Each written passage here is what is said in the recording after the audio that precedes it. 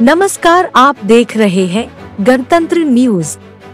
Police अधीक्षक ने की समीक्षात्मक बैठक, लापरवाह पदाधिकारियों पर कार्रवाई करने की दी निर्देश।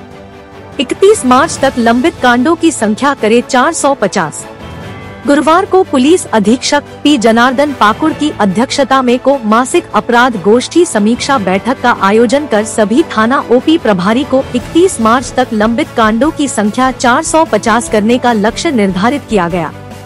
लंबित साइबर क्राइम से संबंधित कांडों के निष्पादन हेतु अनुमंडल पुलिस पदाधिकारी महेशपुर को समीक्षा कर लापरवाह पुलिस पदाधिकारी के विरुद्ध अनुशासनिक कार्यवाही करने निष्पादित कांडों में फाइनल फॉर्म एवं अंतिम ज्ञाप कटवाने हेतु निर्देश दिया गया अवैध कोयला बालू एवं पत्थर के उत्खनन एवं परिवहन तथा लॉटरी जुआ पर पूर्णता अंकुश लगाने हेतु संबंधित थाना प्रभारी को सख्त हिदायत दी गई।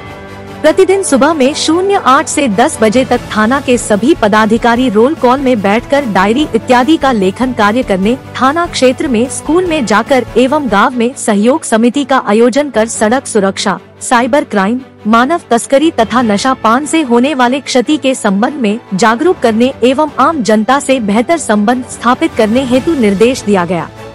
लंबित परिवार पत्र, पासपोर्ट, चरित्र, सत्यापन का निष्पादन निर्धारित समय में करने हेतु निर्देश दिया गया। थाना क्षेत्र के संवेदनशील स्थानों को चिन्हित कर सूची उपलब्ध कराने हेतु निर्देश दिया गया। चोरी गृह भेदन मोटरसाइकिल चोरी जैसे घटनाओं पर रोक लगाने एवं कांडों का उद्भेदन करने हेतु सभी थाना प्रभारी को निर्देश दिया गया।